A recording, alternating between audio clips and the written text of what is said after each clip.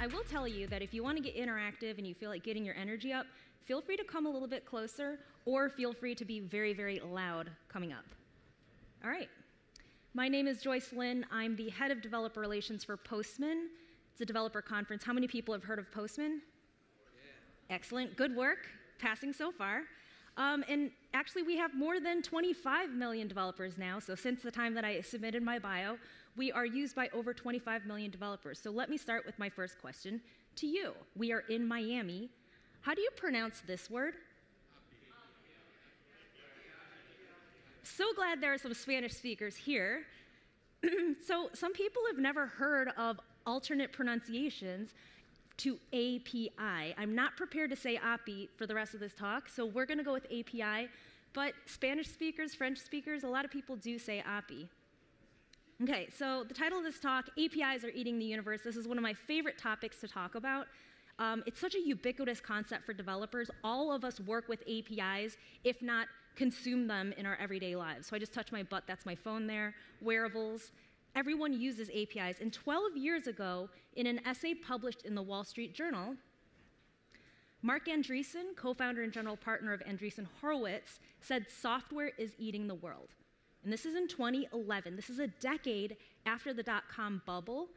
Apple had just become the biggest company in the world, replacing ExxonMobil. Netflix was a whippersnapper, just started streaming movies and TV to your home.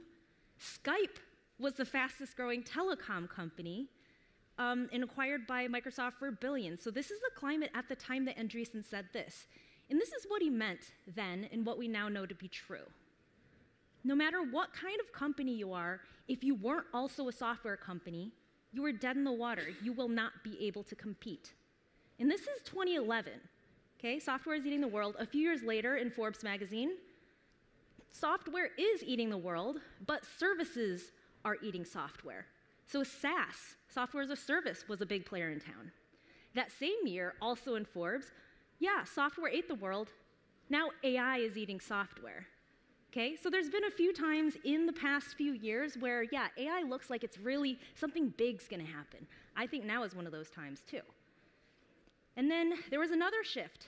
Software is eating the software that's eating the world. And that's true too, right? So we had traditional industries that then got usurped and disrupted by startups that were building software on top of traditional industries.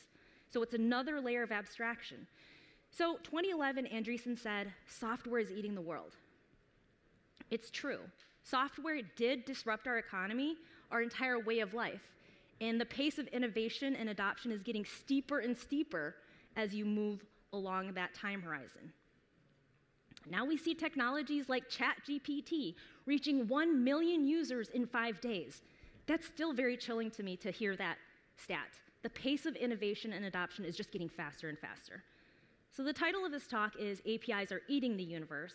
We'll start with a brief history of web APIs, including protocols and patterns. And if you feel confident, again, come a little bit closer. Um, we'll talk about the current state of the API report from Postman, six key findings the future of web APIs, in my humble opinion, and then best practices and takeaways for working with APIs. All right, let's start with the brief history of web APIs. Okay. Pop quiz hotshots. The year is 1993. Uh, I don't, I'm not so good at math, but some of us probably weren't born then. But what's the biggest thing to happen in 1993 to impact web APIs? I heard Doom.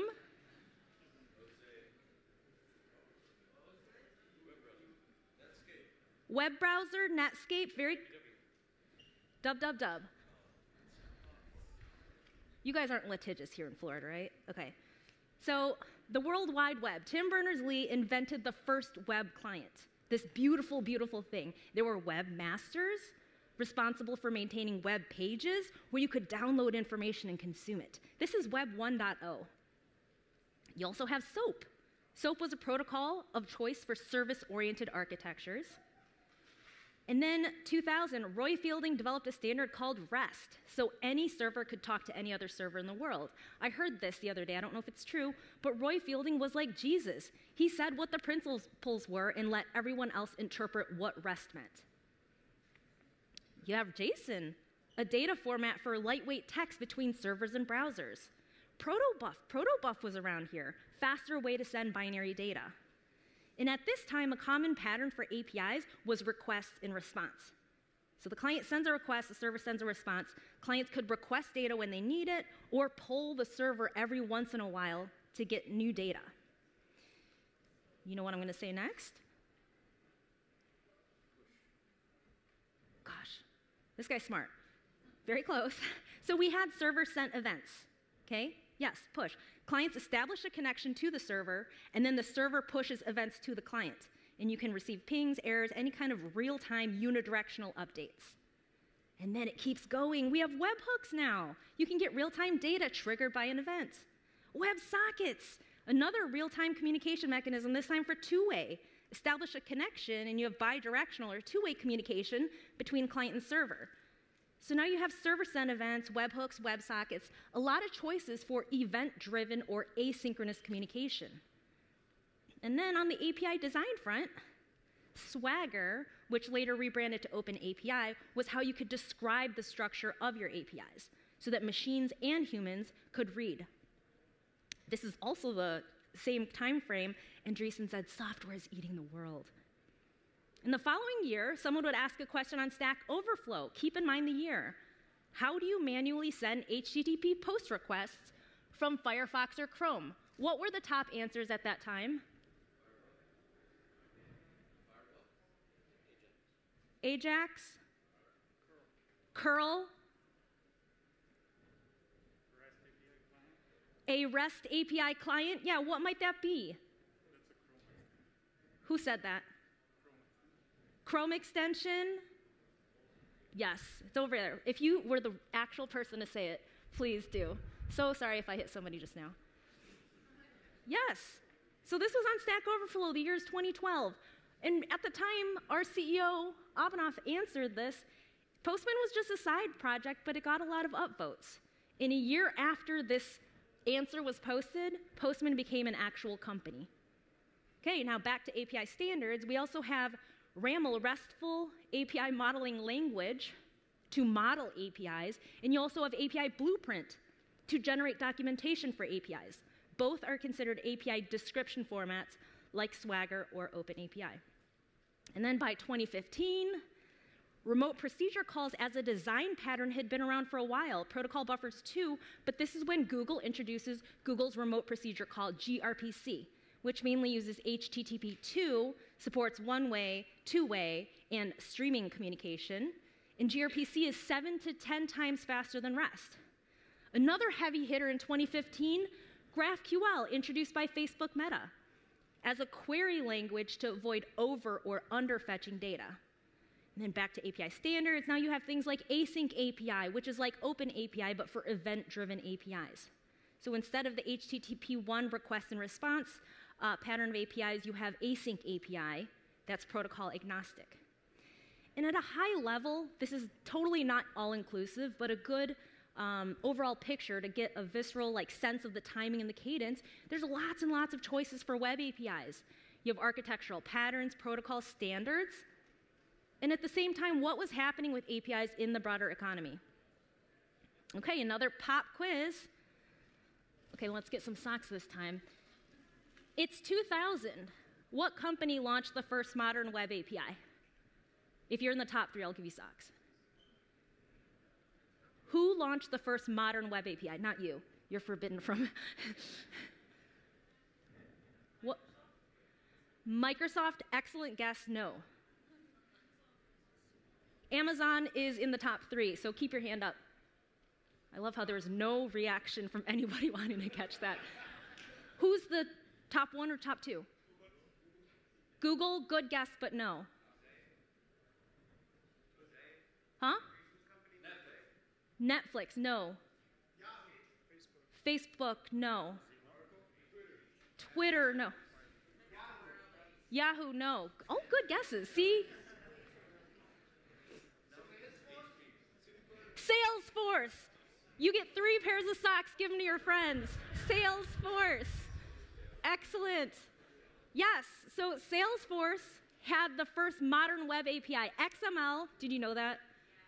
Yeah, okay, yes, yes, yes. We had people that actually knew it, but excellent guesses, all of them. But Salesforce launched with a 400 page PDF docs. That's how you could figure out how to use their API. eBay was number two. They had a REST API with online docs, mm, a little bit better. And Amazon.com was the third. So this was the first time people realized you can actually make money with an API. You can provide value with an API.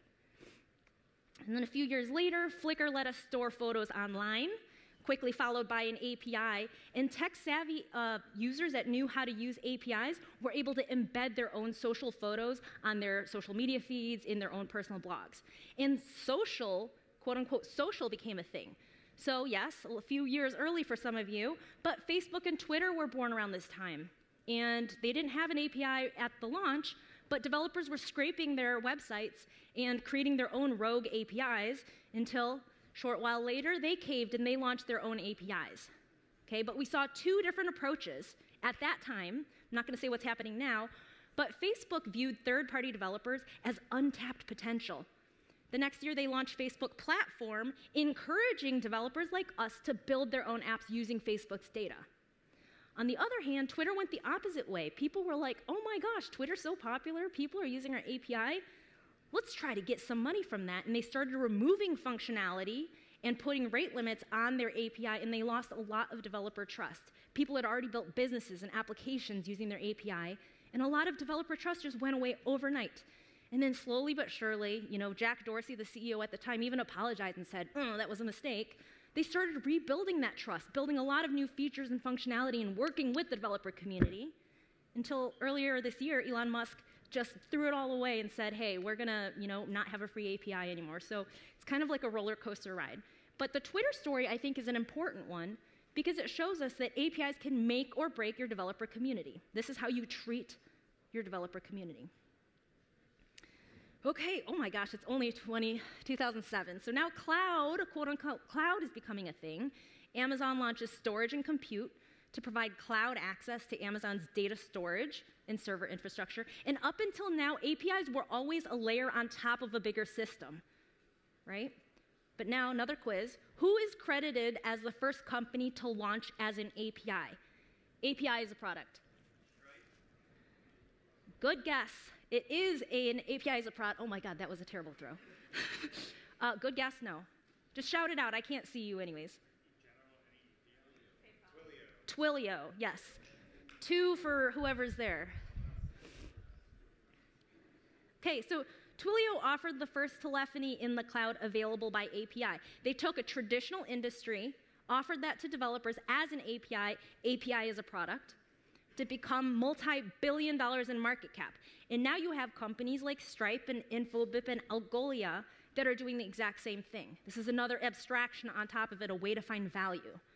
That same year, Apple launched the first App Store one year after they introduced the iPhone. Now, mobile, quote unquote, mobile is becoming a thing. And very soon, every company is going to think that they need a mobile app. Foursquare, anybody remember Foursquare? This is, you can check into your local ice cream shops, right? Become mayor of that ice cream shop. Local is becoming a thing now. And then you have companies like Yelp and Groupon shortly thereafter. All this was happening before Andreessen finally said, software is eating the world.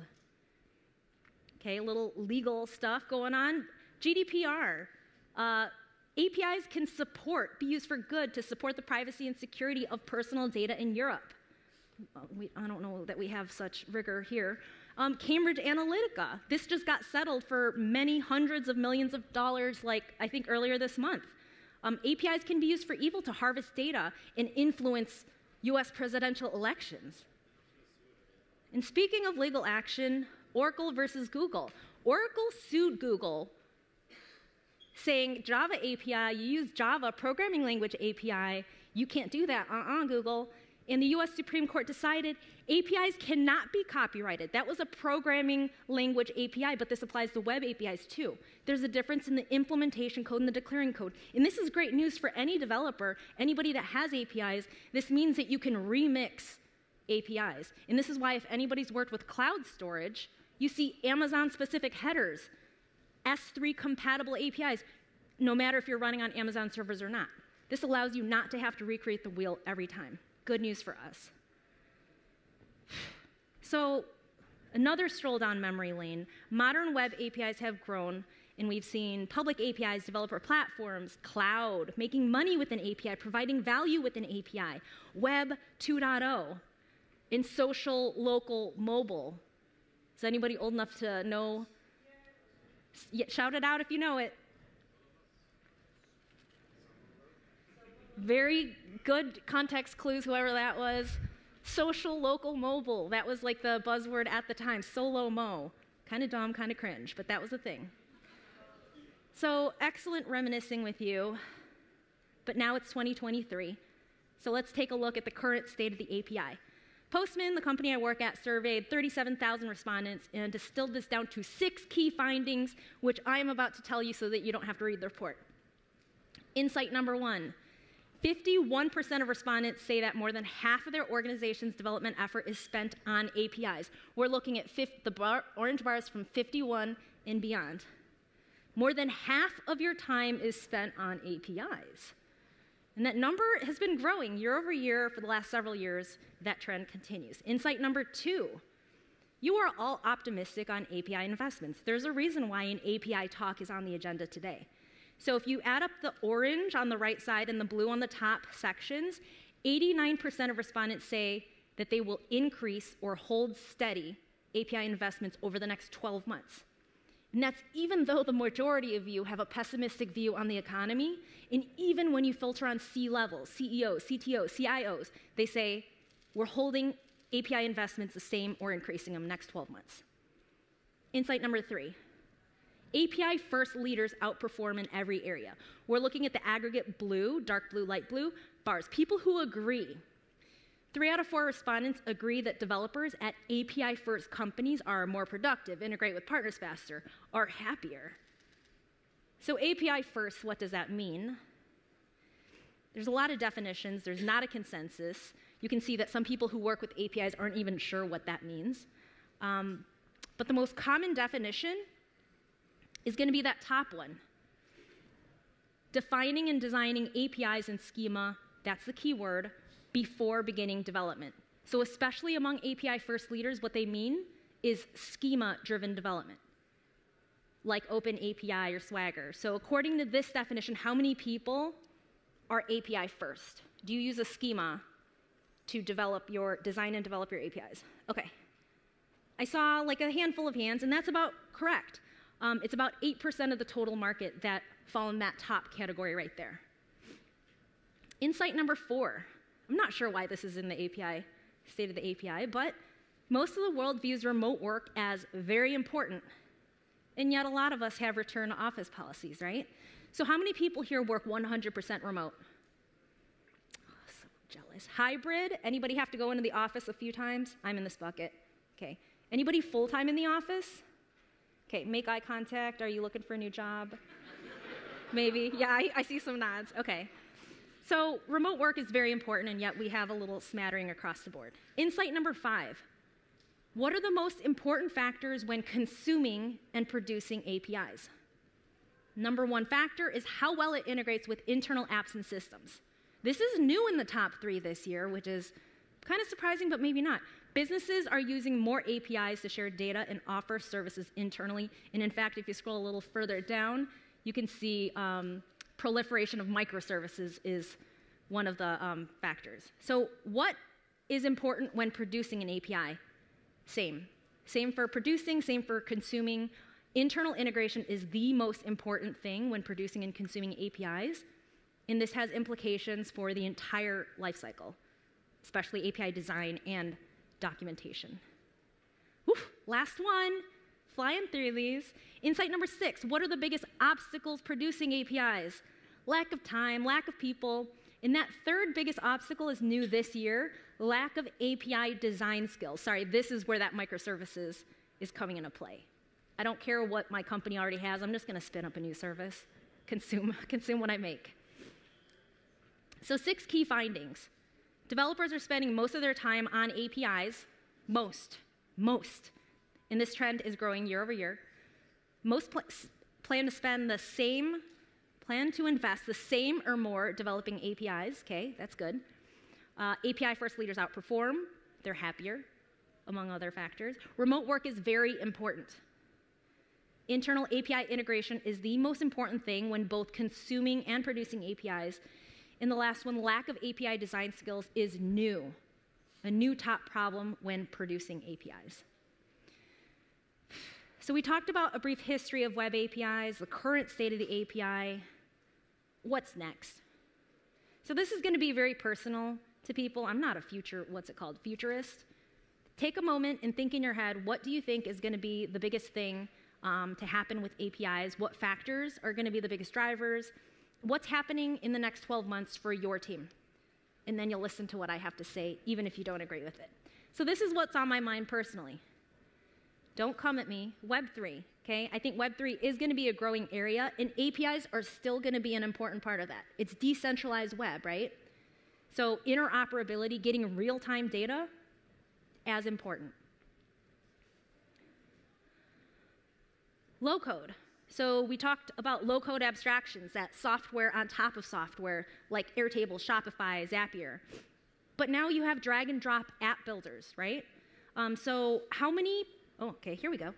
I'm getting rid of my stuff. How many professional developers are in the world right now? And will play Prices Right, Prices Right rules? 100 million. 100 million. 20 million. 8, 30. 7, 80. 50. 1, 300. One dollar. So the correct answer, $25 million. Take it and share. It's 27 million, okay? Professional developers at this point in time. In Postman, we've publicly said our mission is to create and empower 100 million builders. Well, wait, Joyce, there's only 27 million developers, right? So I think it's going to be a very different world. More than just developers are using APIs today, and that number is only going to grow, especially with these low code tools. And so, for API producers, like Postman has an API, you probably have APIs. This means your total addressable market will grow, but your target consumer is going to change, and that's going to mean different things about developer experience. yeah, you probably all have this on your personal list, okay? AI has really captured the world's imagination. How many people here have used Copilot? Oh, for those of you that have your hands down, please try it. It's so luxurious. Um, you know, I was a little bit skeptical. Like, I don't like new things. I'm afraid of change. Um, but I, I really do think that we're nearing an inflection point. And again, this has happened several times in the recent years. But I really do think um, that ChatGPT reaching 1 million users in five days right? And now we have large language models like GPT, Llama, LaMDA, um, connecting complex actions, right? And if you don't have an API, you are invisible to those LLMs, okay? Because they have to interact with something. They're not calling up somebody at your company. They have to interact with something. So I picked three trends, but each of these could be its own massive talk. That's what was on my mind. SmartBear just published their own State of the Software Quality Report a few weeks ago and asked, what are the leading technology drivers for API growth? So there's still some time to gut check. What do you think is going to lead API growth? So we have microservices, AI, of course, IoT, cloud, mobile, blockchain. How does this compare to your own predictions? And is there a big gaping hole that we have not talked about or addressed?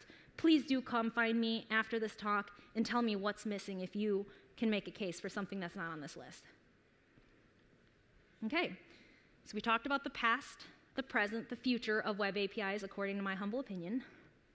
Next, let's talk about recommendations and best practices. APIs are eating the universe, so what can you do? Well, in the state of the API, we saw that internal API integration is the most important thing for both consumers and producers. What matters most when integrating with an API? What do you think is on that top 12 list? Oh, I have these little shorty socks I didn't see here. I saw her docs over. You have to make a friend and give it to docs. Observability.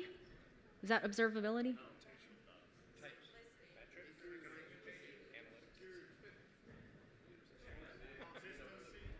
Usability, I heard. Scale. Okay, you're so good with participation. I don't know the error handling is on there, but it's so important.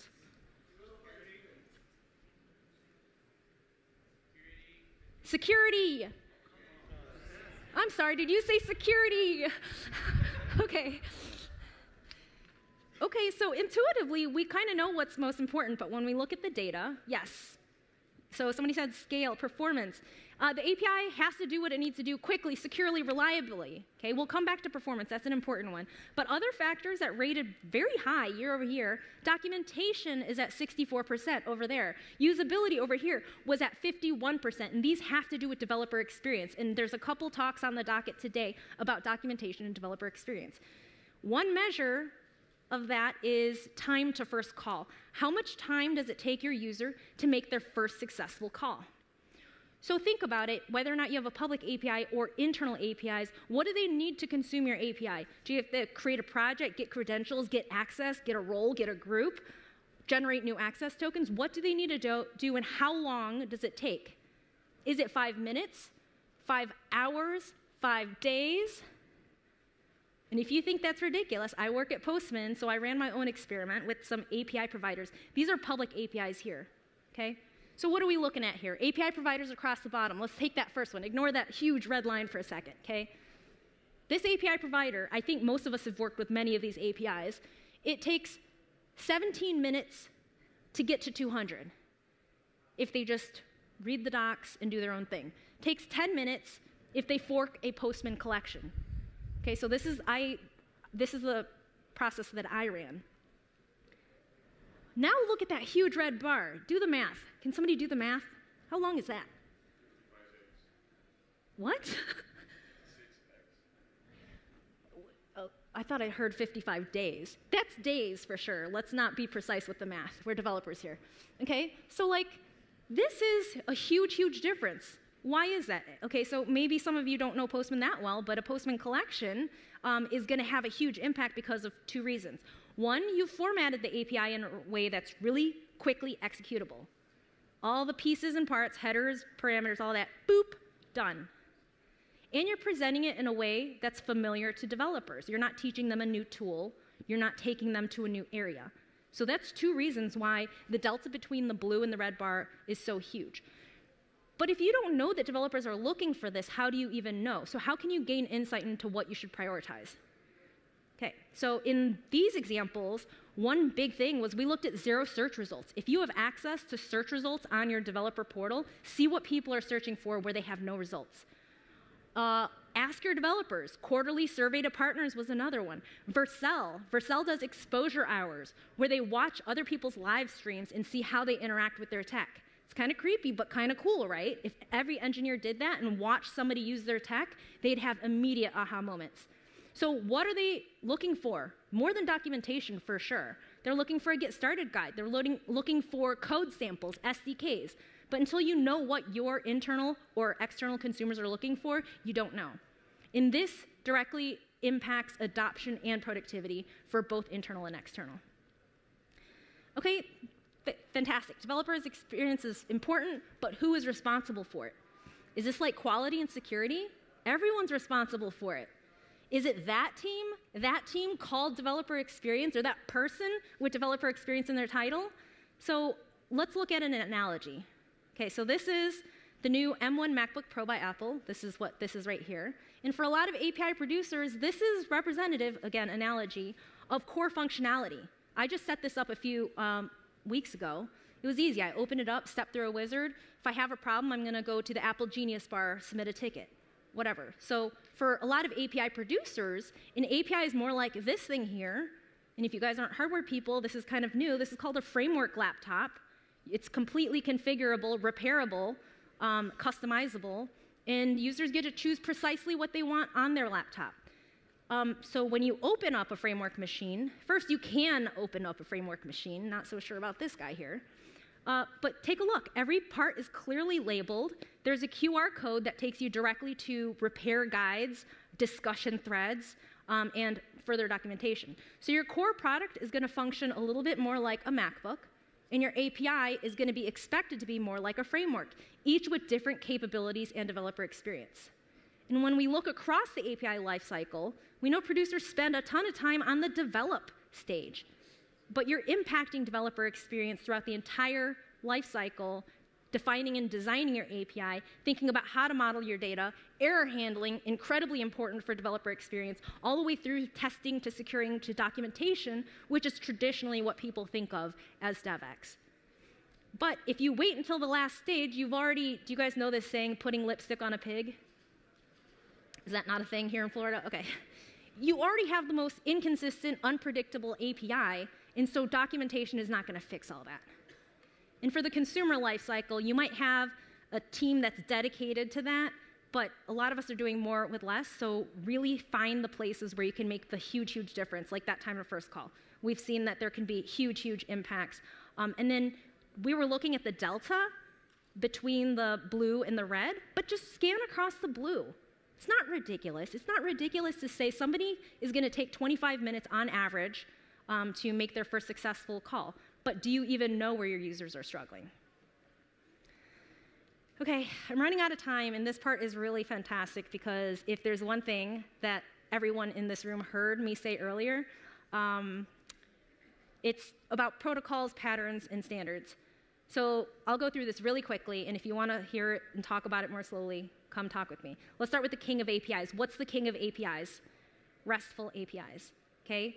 HTTP one and done, request response, we talked about that earlier. And a lot of times you're underfetching or overfetching. You have to get the whole cheeseburger. You can't just pluck out the tomato.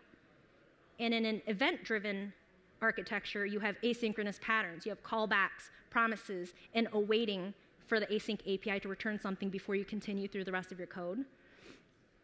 And do you remember, do you remember what matters most when building an integration? Performance. Is performance network latency? Is it total response time? Does your team actually care about total load on the server and not speed? So, one of my most popular TikToks that I'm positive 20% of you heard was about how gRPC is seven to 10 times faster than REST. It's faster. You can do synchronous, asynchronous, choose whether to be stateful. But for many teams, it's moot. Do not go the route of gRPC when REST is good enough. There's a lot more questions to consider. Oh, damn, that's a really good point, too. Okay, let's just close. We're nearing the end of our time together, and we'll do this. We learned how to pronounce this word. We talked about the past, the present, and the future of web APIs and a little bit about protocols, patterns, and architectures. And there's a lot of choices, which is fantastic because APIs are growing a lot. And developers are spending more and more of their time working on APIs year over year. And teams are investing more and more resources in APIs and their strategy and their execution. So in 2011, when Andreessen said software is eating the world, he meant that no matter what kind of company you were, if you weren't also a software company, you will not be able to compete. Today, we're saying this if you aren't also an API company, if you don't have an API strategy, if you don't consider an API first when building out new features and functionality, you won't be able to compete against someone who does. And in the end, three takeaways. Happy to talk for minutes at a time on any one of these, um, but thank you very much.